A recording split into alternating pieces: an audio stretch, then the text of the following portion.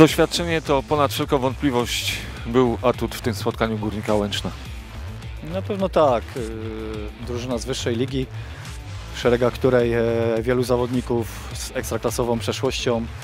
E, Myślę, że na ich tle yy, nie przynieśliśmy wstydu, walczyliśmy, zaprezentowaliśmy się e, w miarę dobrze, więc no, szkoda, szkoda, bo myślę, że przy odrobinie gdzieś tam e, szczęścia i, i, i skuteczności, bo stworzyliśmy dwie, myślę, stuprocentowe sytuacje. Gdybyśmy je wykorzystali, to, to można było dzisiaj e, się cieszyć, cieszyć e, ze zwycięstwa. Natomiast e, no, Górnik był lepszy od nas, e, ale tak mówię, no myślę, że nie przynieśliśmy wstydu i e, gratuluję chłopakom e, za walkę, za zaangażowanie, za to, że, że w odpowiedni sposób podeszli do tego meczu.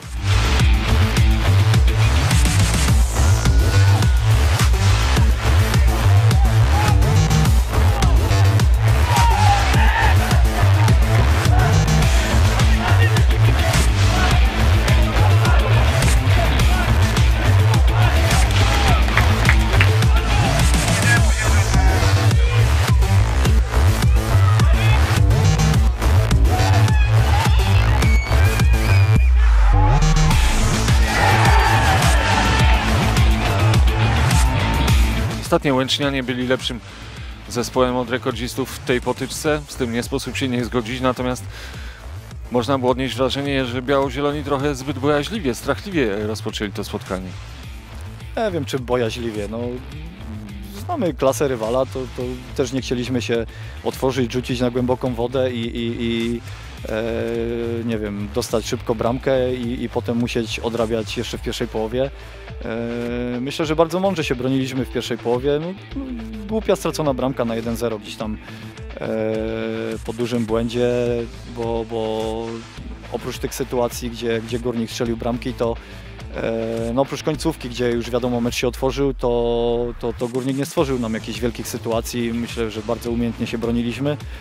E, I tak mówię szkoda, bo, bo był ten mecz gdzieś tam do, do wygrania.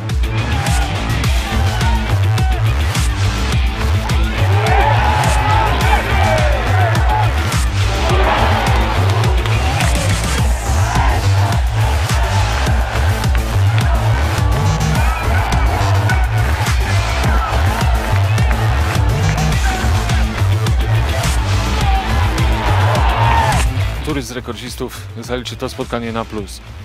Nie, nie, ja bym tak nie oceniał. Myślę, że cała drużyna to była, to jest, ten puchar to była nagroda za wcześniejsze dokonania w tym pucharze.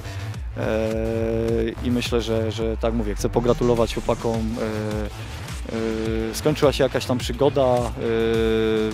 No i wracamy do, wracamy do meczów ligowych, walczymy o punkty. No i, tak, i czekamy na następne edycje Pucharu. Mam nadzieję, że kiedyś jeszcze powtórzymy taki wynik.